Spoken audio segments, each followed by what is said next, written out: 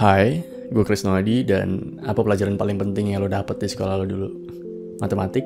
Sejarah? Dulu pas gue sekolah mata pelajaran tuh banyak banget gitu dan gue jadi ngeliat ilmu terkotak-kotak. Terus gue bingung gitu, ini ngapain gue pelajarin semuanya? Emang ada hubungannya ya sama hidup gue? Kalau ilmu itu ibarat bintang ya, berarti setiap kita belajar sesuatu kita bisa nambahin jumlah bintang di angkasa. Tapi masalahnya zaman sekarang tuh gampang banget nambahin ilmu kayak gini. Ya lu tinggal buka internet ya, ya lu baca tweet dari orang yang lu gak kenal-kenal amat atau lu buka wow fakta terus lo wow kepintaran gue meningkat 15% gitu. gampang banget gitu untuk kita nambahin jumlah bintang.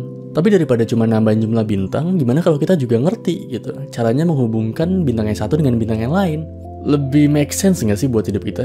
Kita jadi bisa nyelesain masalah yang real karena masalah kita tuh ya juga kompleks gitu. Nggak mungkin kan ketika lo lagi nongkrong ya terus lo tahu temen lo galau pas lo tanya kenapa dia jawab pusing banget gue men.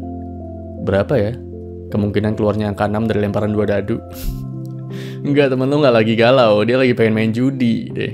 Ya gimana kalau ternyata yang lebih penting dari nambahin jumlah bintang adalah ningkatin kemampuan ini.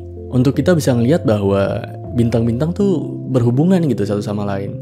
Ya mungkin begitu kita ngelihat ke langit ya, yang ada di hadapan kita tuh bukan cuma kumpulan bintang lagi, tapi rasi bintang yang indah. Ya gak sih? Tau lah, satu kali gue. Dah, cheers.